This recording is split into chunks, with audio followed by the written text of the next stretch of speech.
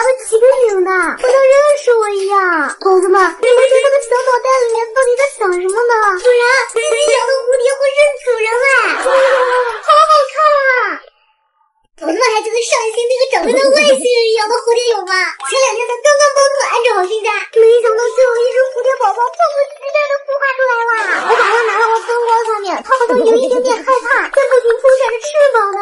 不过它真的长得巨美，你看，这就是它钻出来的蛹，已经破掉了。没想到这么小的一个蛹里，竟然能孵化出这么大的一只蝴蝶。为什么里面只有它最先孵出来，没有见到小伙伴？它有一点害怕也是正常的。接下来呢，我要给这只胆小的小蝴蝶喂一点点蜂蜜水，让它好好休息一下，等待同伴孵化出来。首先准备一杯晾凉的白开水，再拿来一个外卖盒的小盖子，准备一张红绒布，把绒布铺在盖子上。小蝴蝶最爱吃的花蜜，切开一把花蜜，按照十比一的比例挤进水里，浓度可不能太浓了，不然小蝴蝶。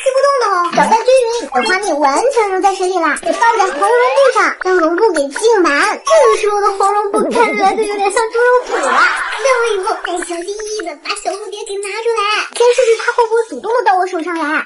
哎，真的爬到我的手上来了！轻轻的把网一开，啊，快看快看，它好乖啊，落在我的手上完全不动哎，而且它的翅膀也太美了吧，竟然是蓝绿渐变的，上面还有紫色、红色的花纹呢。主人，自己养的蝴蝶会认主人哎，好好看啊！对面的天光一会儿是蓝色的，一会儿又变成绿色了啦。这个小家伙的身上还长了许多的小绒毛，看起来毛茸茸的，好可爱呀！一动不动的，它的腿把我的手指扒得紧紧的，好像认识我一样。猴子们，你们说它的小脑袋里面到底在想什么呢？哎呀妈呀，够了！换到另外一只手上来。接下来我要给它喂蜂蜜水了，先把它放在蜂蜜水上，看一下它自己会不会去喝。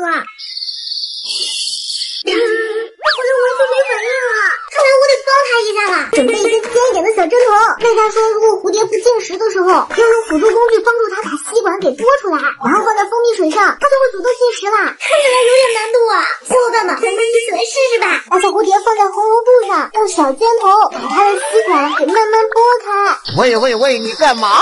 别动我，你这个坏人！哎呀妈呀，它又收回去了。快放开我！你神经病啊！小心一点，千万不要戳到它呀！再轻一点。我不喝，不喝就不喝，谁爱喝谁喝去，我才不喝。又收回去了，感觉很抗拒啊！最后再试一次，千万不能戳到它了。我说大姐，你烦不烦了？不行，他完全不想喝。溜了溜了。这怎么办呀？看来只能把蜂蜜水放在他的小屋里，等着他自己去喝了。小蝴蝶，这次我帮不了你了。我才不用你帮我呢，我自己会去喝的。你也太多管闲事了吧？嗯，好吧，那就听你的吧。你可千万别挑食哦。第二天，小伙伴们快看，竟然又孵化出来了一只蝴蝶！我发现这些蝴蝶都是趁我不在的时候偷偷孵化出来的，而且这只刚刚孵化出来的蝴蝶一直想往另外一只蝴蝶的身边靠近哎，它俩不管到哪儿都要一起，长得还像双胞胎一样呢。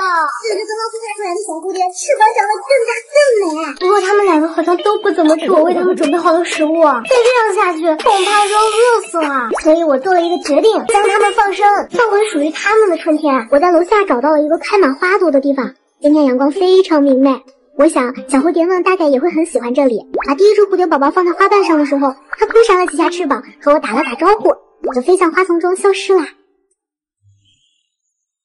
第二只小蝴蝶却停留在原地，迟迟不肯离开。不过过了一小会儿，它也飞走了。再见啦，小蝴蝶们！希望明年春天还能再见到你们。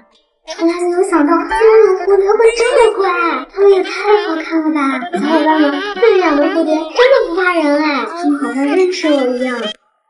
小伙伴们，蝴蝶蛹的会期来啦！今天啊是孵蝴蝶的第二天，有一个好消息和一个坏消息。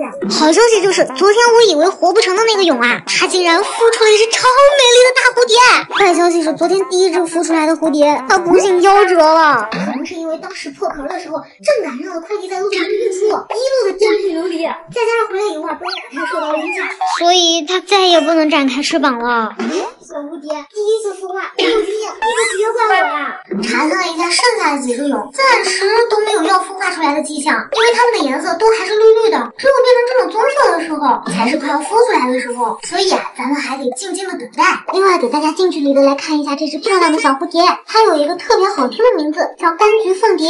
它的翅膀可真美呀，在相机底下都拍不出它的美丽，只有在花丛中翩翩起舞的时候，才是它最美的时刻。咱们给它先静养一段时间，我为它准备了一些蜂蜜水，还有西红柿，希望它在其他蝴蝶孵出来之前，都能保持一个良好的体力。等所有蝴蝶都孵出来的时候，就可以把它们放生啦。小伙伴们，蝴蝶全都孵化出来了，咱们来看一看。A few inches later. 我说了，今天是孵化蝴蝶的第三天，看看咱们的小蝴蝶怎么样了？噔噔噔！我告诉大家，咱们的五只蝴蝶蛹全部都孵出来了，看它们的翅膀多大呀！整个网里全是蝴蝶，这翅膀都太好看了。小伙伴们，现在让我来帮你们试验一下，自己孵化出来的蝴蝶是不是真的不怕人？咱们先来把里面的这个树枝给拿出来，小心一点，千万不能碰到我的小蝴蝶了。可以看见上面这些孵化过的蛹啊，一个个都变成了干皮了。这乍一看还以为是朵花呢。现在让我们来把蝴蝶拿出来。哇，小伙伴们快看，它真的趴在我的手上一动不动哎，这也太乖了吧！小伙伴们，你们看，它们像不像咱们小的时候戴在头上的那种蝴蝶发卡呀？这也太美了！看，它完全不怕我哎，从来没有想到竟然有蝴蝶会这么乖，它们也太好看了吧！小伙伴们，这两个蝴蝶真的不怕人哎，它们好像认识我一样。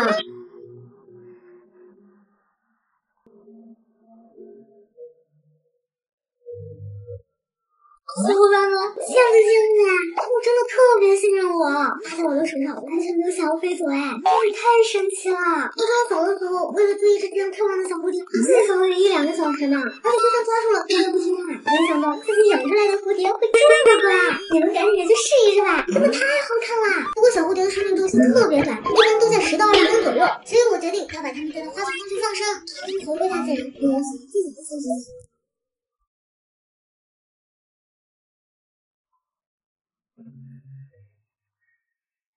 我的天哪！你见过这种眼睛会发光的魔法鱼吗？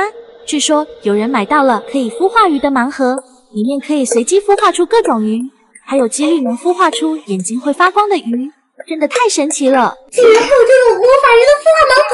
怎么现在养宠物都流行自己孵化呀？刚孵化完蝴蝶，又孵化了小乌龟，还有这种两眼会发光的魔法鱼，不过看起来真的好好玩啊！不然我去学校门口的小卖部找一找吧，是不是真的有呢？快快走！宝贝儿，小卖部里真的有魔法鱼盲盒哎！不过这也太贵了吧？就这些，竟然要我九十九块钱！听说能孵化出不同种类的魔法鱼，你们是不是真的能孵出两眼发光的魔法鱼啊？魔法鱼？什么什么东西啊？怎么又是你们两个？什么好的东西啊？也不带我们俩玩！就是嘛，哎呀，这是孵化的魔法鱼的盲盒，我也来一个。小鹿用绿色，那我用蓝色的。行吧，那我就来个粉色的。为啥这盒子上画的这条鱼圆胖圆胖的呀？你们见过这种鱼吗？来看一下它的使用方法。我们起来好像很简单哦。你们觉得我们三个真的能孵化出来鱼吗？如果觉得我们可以成功孵化出来鱼的，弹幕上来不一。你们别废话了，赶紧开始孵吧。掏出来，先来加入这包海水素，中，然后倒入水，静静的等待一会儿，让海水素净化一下。净化好海水素以后，咱们再把这一包鱼卵加进去。哇，这些小鱼卵太迷你了吧？你们能看清它们吗？撕开，倒进水中，盖上盖子。接下来要做的就是静静的等待我的小鱼孵出来啦。你们看我封面上的鱼长得可像那条狗了，我的还有小丑鱼呢。该不会我的这个鱼能培育成这条狗吧？做梦，我的肯定能孵出小丑鱼。那咱们就来比。加入鱼卵，小鱼鱼，你们一定要健康的孵出来哦。哼，我的肯定比你先孵出来。小伙伴们，那接下来咱们就要进入漫长的等待时间啦。孵化鱼的第二天，为什么这二十四小时都过去了，我的魔法鱼卵一点反应都没有啊？我的六条恐龙卵也没有啥变化。我的小丑鱼卵好像变大了一点。算了，咱们啊还是再耐心的等一等吧。孵化鱼的第三天，已经过去七十二个小时了，我的鱼卵还是老样子。我的好像也是。但是啊，我发现了一件事，就是这个装着鱼卵的水啊，好像变得更粘稠了。看来可能它们即将要孵化出来了。我已经迫不及待要见到我的小丑鱼了。小伙伴们，屏幕上点点赞的，给我们来点支持啦！孵化小鱼的第四天、第五天、第六天、第 N 天，这都过去小半个月了，为啥他们一点变化都没有呀？还和第一天的状态一模一样。你该不会是买过假货了吧？要不然为啥孵不出来啊？不会吧，这还老贵了呢。我不玩了，我也不玩了。真浪费时间。算了，不打游戏了。Two thousand years later. 咦，这些草怎么都死了呀？嗯，这是什么呀？这是不是两个月之前我们孵的鱼啊？我想起来了，这就是我们之前孵的鱼，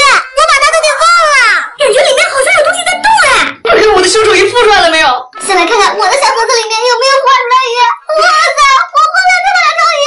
给大家近距离看一下我的两条小鱼，还是一黄一橙的呢。你们看它的小尾巴，是不是特别像蝴蝶的翅膀呀？不过它们的眼睛好像没有发光。那还是赶紧来看我的吧。小伙伴们，我有点小兴奋呢，不知道我的鱼到底长什么样子了。来揭开它们的庐山真面目吧。哦，它怎么这么多斑斑点点呀？这个鱼不会叫斑点鱼吧？旁边这条绿色的鱼也太活泼了吧？难道它是荧光鱼？不过这条绿色的小鱼真好看呢。但是它俩的体型为啥差距这么大呀？是不是这条斑点鱼偷吃了它的粮食呀？哇，你看，你看，我的盒子里是黑色的鱼，这条鱼该不会就是那条眼睛会发光的鱼吧？这就来看看吧。让我来看看你的眼睛会不会发光。哇，它长得好好看呀！可是我咋看不见它的眼睛在哪啊？你们有看见它的眼睛吗？它肯定是到晚上的时候眼睛才会发光。那咱们等到晚上再看看啦。